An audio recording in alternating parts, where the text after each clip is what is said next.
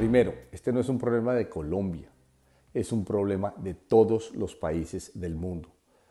Todos los países gastaron más y se le cayeron los ingresos.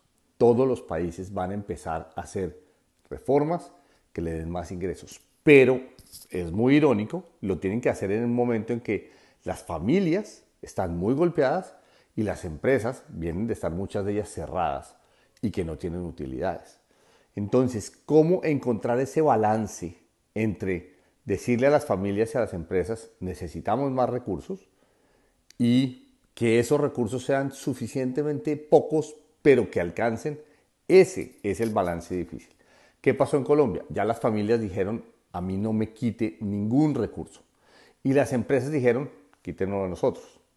Entonces el gobierno está ya con ese consenso que es solo a las empresas, está diseñando una reforma tan pequeña que no afecte la recuperación del empleo y la recuperación de las empresas, pero que no sea tan pequeña que no le dé recursos al menos para estabilizarse y volverse sostenible, que es lo que Colombia siempre ha hecho. De eso depende la solidez, la estabilidad y el buen funcionamiento de toda la economía colombiana.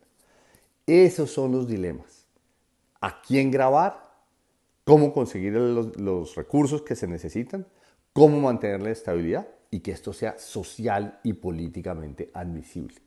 No es un dilema fácil, no son situaciones para nada deseables las que le toca al presidente Duque, al ministro de Hacienda Restrepo, a sus equipos, eh, de hecho a la sociedad completa, a los empresarios que van a pagar estos impuestos y a las familias, máxime después de una animosidad social tan grande como la que hemos visto. Eh, ayudémosle al gobierno a que lo haga de la mejor manera posible y que sea justo, justo el balance que necesitamos.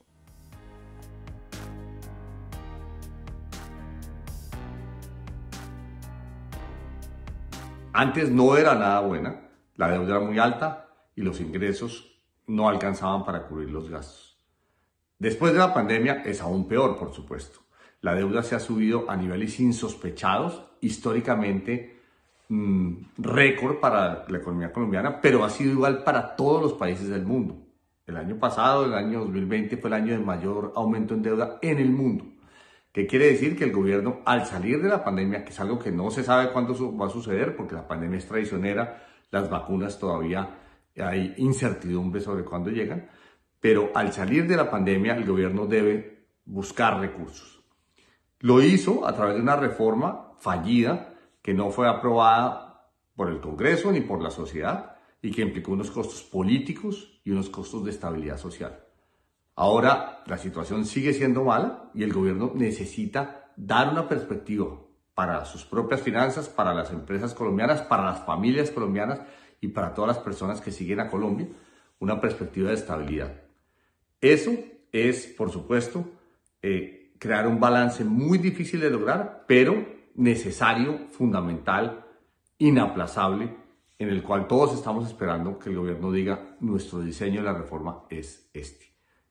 Las empresas mismas han dicho nosotros pagamos mayormente los costos de ese aumento de ingresos, no moleste tanto a las familias, el gobierno dice no, las familias más ricas deben pagar una parte de esto y estamos esperando, por supuesto, a que salga el diseño definitivo.